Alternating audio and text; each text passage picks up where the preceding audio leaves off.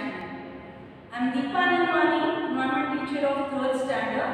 Today we are going to start semester 2. In that I will be teaching you chapter number 13 that is sharing our feelings.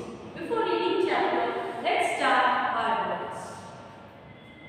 Number one anxious anxious का मतलब होता है कोई भी चीज़ के लिए आतुर होना नंबर टू क्वाइट क्वाइट का मतलब है कि शांत, लेकिन इस चैप्टर में क्वाइट का मतलब है Syana number three sense of humour इसका मतलब ये होता है कि किसी भी बात को विपरीत परिस्थिति में, यानी कि अगर परिस्थिति अच्छी ना हो सिचुएशन अच्छी ना हो तो भी उसे पॉजिटिवली लेना।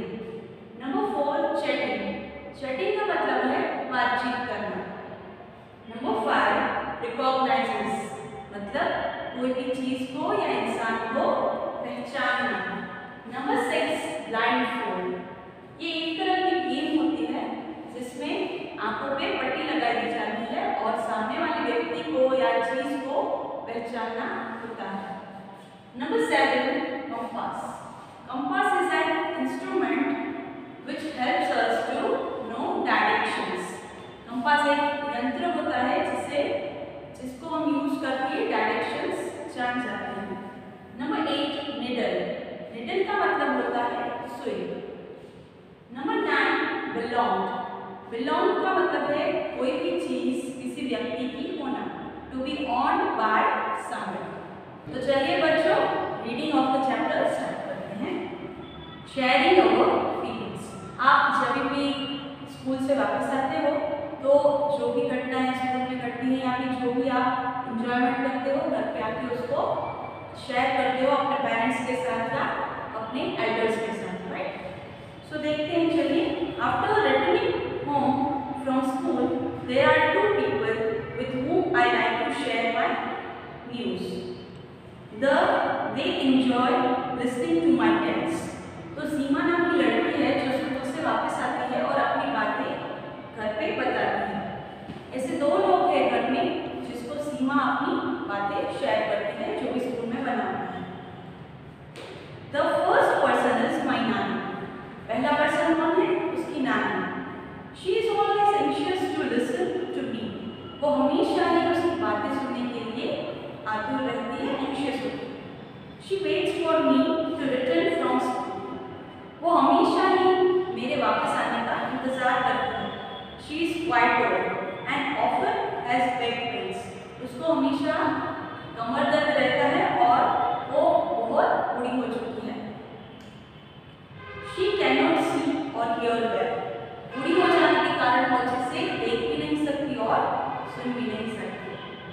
सकती every day in the morning papa reads a newspaper aloud to they वो देख नहीं सकते अच्छे से इसीलिए सीमा के पापा उसकी नानी को न्यूज़पेपर रीड करके न्यूज़ सुनाते हैं।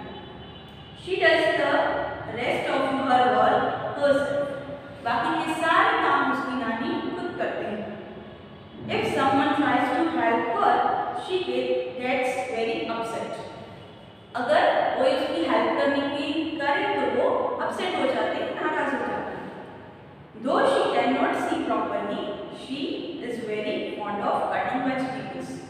वो देख नहीं सकती अच्छे से लेके, वो अच्छे से वेजिटेबल्स काट सकती है।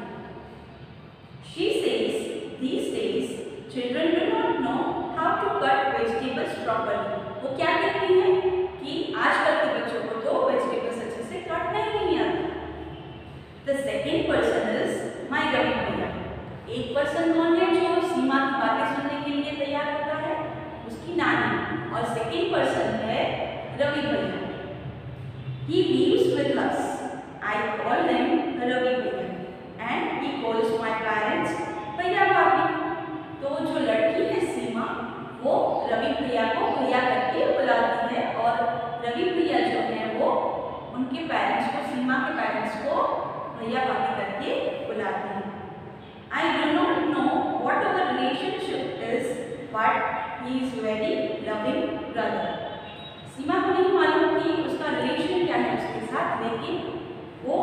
बहुत ही अच्छे भैया हैं, बहुत ही लविंग ब्रदर हैं।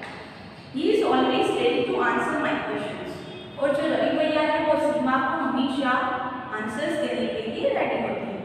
He never says I will tell you later और रवि भैया कभी ऐसे नहीं कहते कि मैं तुम्हें बाद में जवाब दूँगा। हमेशा ही उसे जवाब देते हैं। Ravi bhaiya teachers in a college Ravi bhaiya क्या काम करते हैं? वो कॉलेज में पढ़ाते हैं। The students of the college respect a lot college के जो स्टूडेंट्स हैं, वो रवि भैया की बहुत रिस्पेक्ट करते हैं, उनका आदर करते हैं।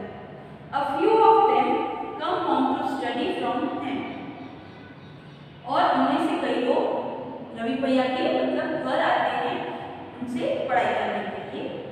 Ravi bhaiya is very fond of listening to music and taking part in plays Ravi bhaiya को म्यूज़िक सुनना और नाटकों में भाग लेना पार्टिसिपेट करना बहुत अच्छा लगता है He enjoys chatting with his friends and going out with them. और उनको अपने फ्रेंड्स के साथ बातें करना और उनके साथ बाहर घूमने जाना भी बहुत अच्छा लगता है उनको इंजॉय करते हैं He has a good sense of humor and makes all of us. और रवि भैया का सेंस ऑफ़ ह्यूमर बहुत अच्छा है सेंस ऑफ़ ह्यूमर का मतलब है किसी भी बात को कॉमेडी में कन्वर्ट करना। इस तरह से वो सबको हंसाते हैं। भैया carries a white stick when he goes out जैसे कि पिक्चर में भी दिया हुआ है कि रवि भैया ब्लाइंड है, वो देख नहीं सकते। जो अंध लोग होते हैं, वो क्या करते हैं? आँखों पे काला चश्मा लगाते हैं और हाथ में वाइट स्टिक लेते हैं तो उसी तरह से रवि भैया भी हाथ में स्टिक लेके चलते हैं बाहर जब जाना होता है तो वो स्लिप का यूज़ करते हैं। Looking at him moving around in the house no one can say that he can not see अगर उनको हम देखें तो ऐसा हम कह नहीं सकते वो देख नहीं सकते। He likes to do all his work himself और उनको अपने हर काम खुद करना अच्छा लगता है If someone try to help him against his wish, he gets angry. अगर उनकी मर्ज़ी के खिलाफ अगर उनको कोई हेल्प करे तो वो गुस्सा कर देते हैं Whenever he needs any help, he asks for it. अगर उनको कोई हेल्प चाहिए होती है तो वो हमें पूछते हैं Some of Bhaiya's students take books from him and return them after recording them on tapes. वो क्या करते हैं उनके स्टूडेंट्स उनके पास से बुक्स लेके जाते हैं और उनको टैप में रिकॉर्ड करते हैं Ravi bhaiya listen to these steps उस स्टेप्स को रवि भैया अच्छे से सुनते हैं Vaya has many other books too. The pages of these books are thick and have rows of raised points, dots. Ravi भैया के पास बहुत सारी बुक्स हैं जो बहुत मोटी होती हैं उनके जो लेटर्स होते हैं वो रेज होते हैं पॉइंट्स में होते हैं और रेज होते हैं उन पे हाथ फेर के ब्लाइंड लोग पहचान जाते हैं कि क्या लिखा हुआ है he reach by running his fingers on the raised dots उसे हम क्या बोलते हैं? Braille script to have fun with भैया I sometimes change the place of his sticks he does not, does get upset, but never gets angry.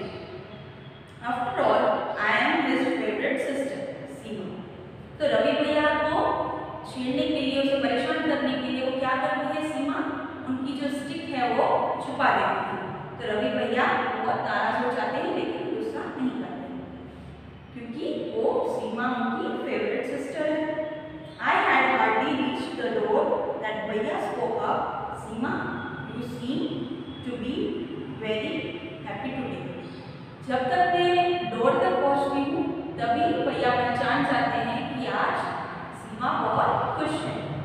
भैया recognises not only me but all the other family members from the sound we make as we move तो जो blind लोग होते हैं, वो देख तो नहीं सकते।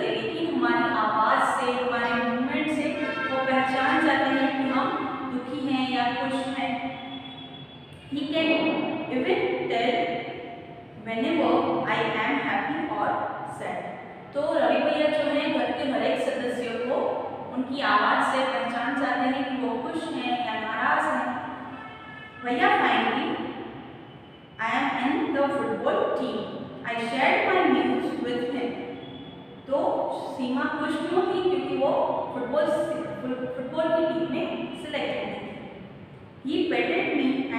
lovingly.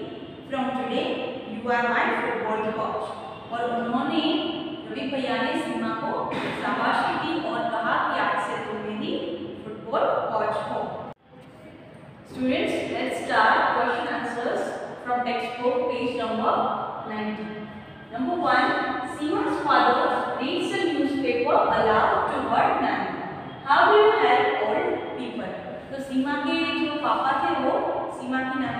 paper read करके सुना देते तो इस तरह से आप वृद्ध लोगों को ओल्ड लोगों को कैसे हेल्प कर सकते हो?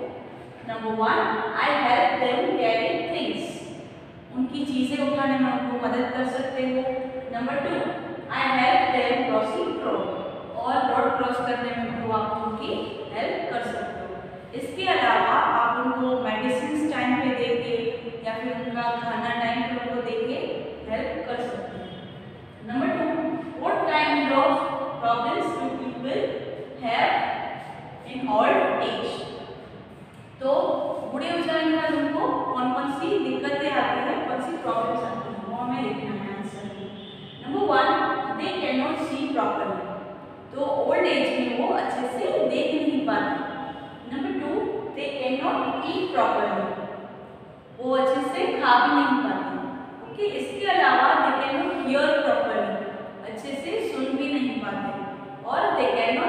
प्रॉपरली चलने में भी उन्हें दिक्कतें होती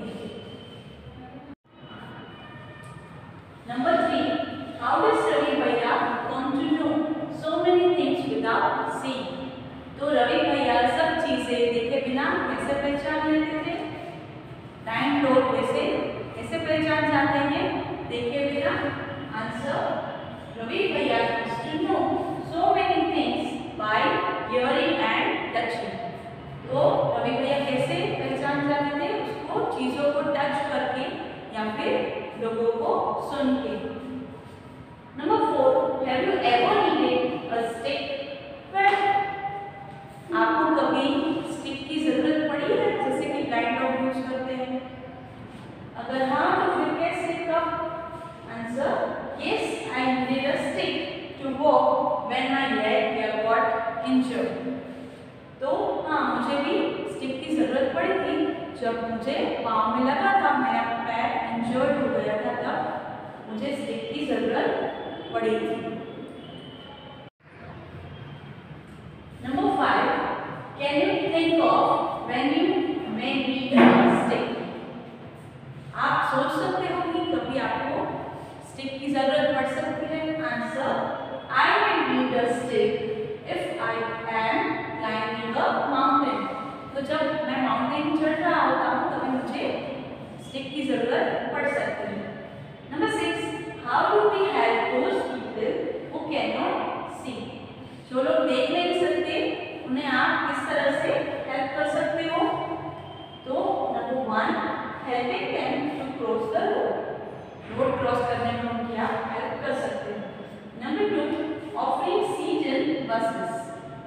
बस में आप लोग को सीट दे सकते हो, बैठने के लिए। इस तरह से बहुत सारी और चीज़ें भी आप सोच सकते हो जब आप उनको हेल्प कर सकते हो okay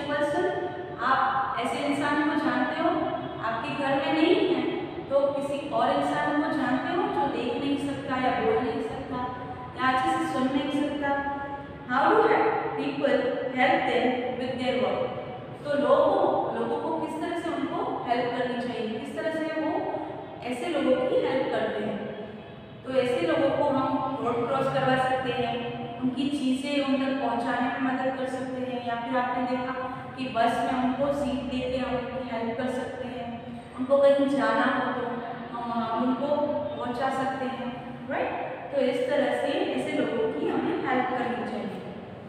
You read in the story that Ravi bhaiya can not सी हमने स्टोरी में देखा कि रवि भैया देख नहीं सकते। But he does all this work on this on लेकिन वो अपना सारा काम खुद करते हैं। तो हमारे जो सेंस ऑर्गन्स होते हैं, पाँच सेंस ऑर्गन्स हमारे बॉडी में होते हैं। तो जिन लोगों को एक सेंस ऑर्गन नहीं होता है, किसी को आँखें नहीं होती है, किसी कोई सुन नहीं सकता तो कोई बोल नहीं सकता तो बाकी के उनकी जो सेंस ऑर्गन्स है, वो एक्टिवेट हो जाते हैं, उन्हें कोई भी चीज़ पहचानने में हेल्प करते हैं। He studies from different kinds of work. To understand how he is able to do this work, close your eyes and play this game. तो ब्लाइंड लोग किस तरह से अपनी चीज़ें रिकॉग्नाइज करते हैं अपनी लाइफ को कैसे जीते हैं वो जानने के लिए हम क्या करेंगे ब्लाइंड फोल्ड करेंगे यानी कि अपनी आँख पे पट्टी बांधेंगे और चीज़ों को पहचानेंगे चलिए तो ये गेम कैसे खेलनी है मैं आपको बता देती हूँ blindfold blindfold any one child in the group one by one the other children come to him or her quietly. The child who is blindfolded has to guess who the other child is. By touching him or her, take care not to be, not to make any sound. Do you know why? तो क्या करना है आपको? Group में से एक child को blind fold करना है, यानी कि उसकी आँखों पे पट्टी बांधनी है और उस पर्सन को, बाकी के पर्सन में से एक इंसान को पहचानना है।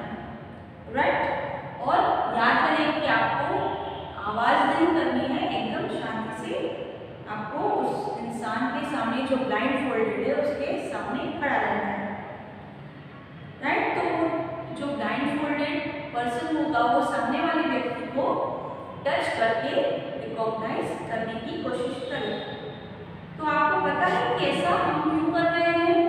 तो इस तरह से हम ब्लाइंड लोगों को कौन कौन सी प्रॉब्लम्स होती हैं, चीज़ें और इंसानों को जानने में हम सोच पाएँगे। In the same way one by one blindfold all the other children. Each one has to try and guess by touching who the other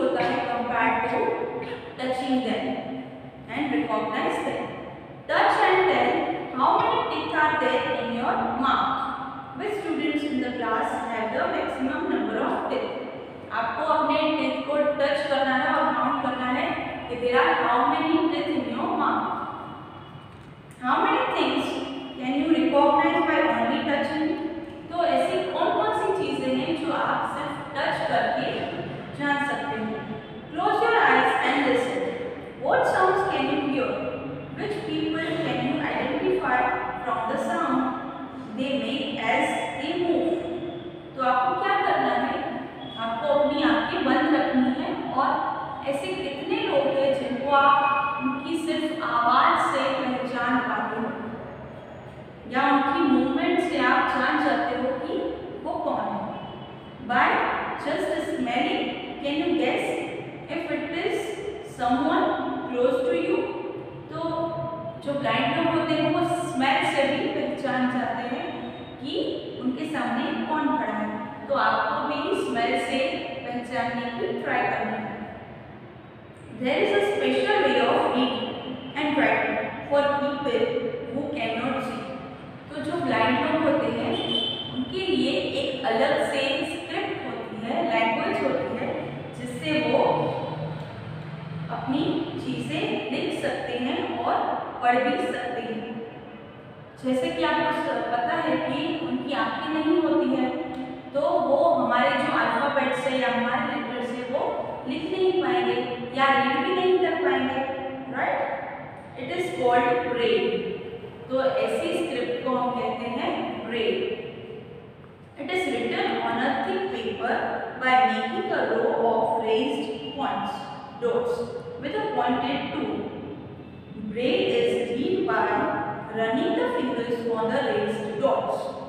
तो ब्रेन जो लैंग्वेज है, वो कैसे काइंड ऑफ़ यूज़ करते हैं तो उनपे अपना हाथ घुमाते हैं running fingers on that letters and they recognise what is written on the paper और वो हाथ फैला के जान जाते हैं किस तरह से क्या लिखा हुआ है पेपर पर let us see whether it is difficult or easy to recognize a shape without seeing it. तो जो सारे शेप्स होते हैं सर्कल रेक्टेंगल तो इस शेप्स को आप कैसे रिकॉग्नाइज करोगे आपको आप आँखें बंद रखनी है या ब्लाइंड फोल्ड करना है और आपको शेप्स को पहचानना है right a sheet of sandpaper आपको क्या करना है? एक सैंड पेपर लेना है। Make a shape on it by pressing a piece of thick wool or thick thread on it. और उस पर आपको थिक वूल या आपको थ्रेड पेस्ट कर देना है। Ask your friend to close her or his eyes and identify the shape by running her or his finger on the sheet ask your friend was it easy or difficult तो आपको क्या करना है?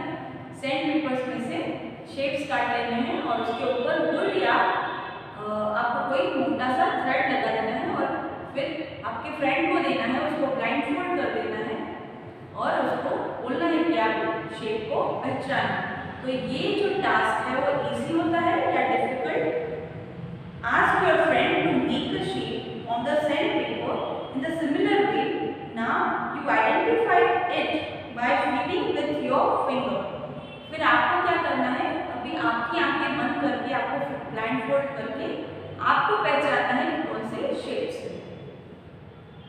Okay चलो तो ये मैं आपको प्रैक्टिकली करके दिखाती हूँ। तो बच्चों, मैं अभी अपनी आँखें बंद करूँगी। मैडम मुझे शेप्स देंगे और उसको मैं रिकॉग्नाइज करूँगी। ठीक है? इसी तरह से आपको भी घर पे प्रैक्टिस करूँगी। चलिए। First shape. See, I touch edges of this shape and recognize. So, this is a triangle.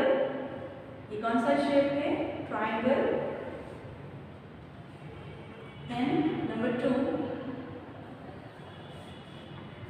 edges को टच करना है और पहचानना है so this is a circle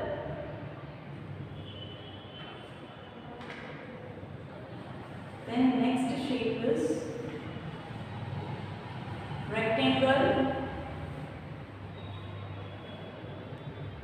Take a thick paper of piece of paper, make an outline with the help of a compass or a needle. Make dots at the short distances on the outline. Draw outline draw. You can see that the paper is raised on the other side. Now ask your friend to close his or her eyes and feet with the fingers to tell what you have outlined. Isn't it about how people who cannot see are able to read. तो आपको क्या करना है कि आपको एक paper लेना है, उस पर निडल से आपको पॉइंट करना है दबा के उस पर पॉइंट्स करने हैं और उसके बाद उसकी उल्टी साइड उसके पीछे की साइड पे आपको टच करके जो पॉइंट रेज हो जाते हैं, उसको टच करके पहचानना है कि उस पर क्या लिखा हुआ है राइट जिस तरह से हमने ये गेम खेली तो क्या आपको वो डिफ़िकल्ट लग रही थी? इस तरह से आपको घर पे भी खेलनी है? और सोचना है कि अगर आँखें बंद करके कुछ पहचानना हो तो वो डिफ़िकल्ट होता है राइट हम देख के आसानी से बोल सकते हैं कि ये ट्राइंगल है रेक्टेंगल है, लेकिन टच करके पहचानना लिटिल बिट टफ हो जाता है okay now page number 93 let us learn about चलो जो स्क्रिप्ट है उसके बारे में लर्न करते हैं you have seen that Ravi bhaiya reads special types of book Ravi bhaiya जो कि ब्लाइंड थे, हमारी स्टोरी में वो एक स्पेशल टाइप की बुक पढ़ते थे how were these books made Who first thought of these books? Let us find out about it. तो ऐसी बुक्स कब से शुरू हुई और किसने इसकी, इसका इन्वेंशन किसने किया ये देख लेते हैं तो बोर्ड पे मैंने ए लिखा हुआ है ए टू ई लिखा हुआ है। हम इस तरह से ए लिखते हैं, लेकिन ब्रेल स्क्रिप्ट में इस तरह से ए लिखा होता है। उसमें सिक्स डॉट्स होते हैं, लेकिन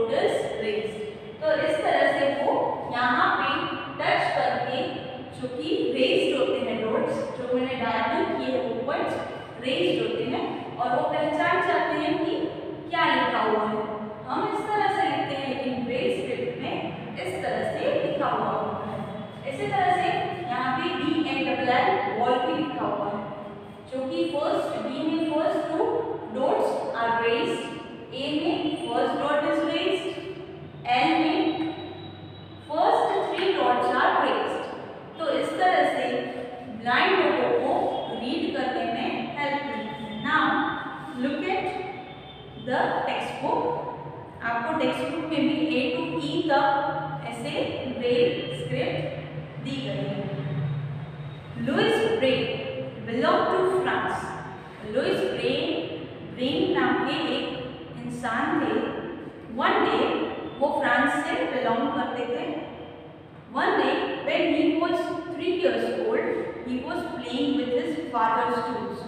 वो क्या कर रहे थे? अपने पापा के जो टूल्स थे, उससे खेल रहे थे।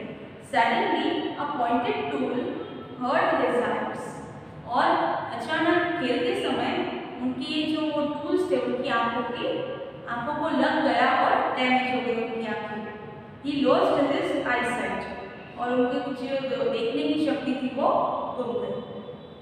He had keen interest in studies लेकिन उनको पढ़ाई में बहुत इंटरेस्ट था।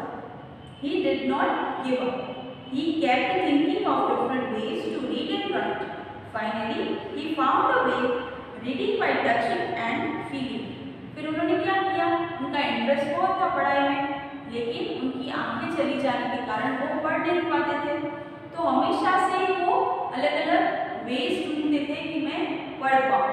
और उन्होंने फाइनली रीडिंग के लिए टचिंग वाली मेथड यानी कि ब्रेल स्क्रिप्ट की खोज की।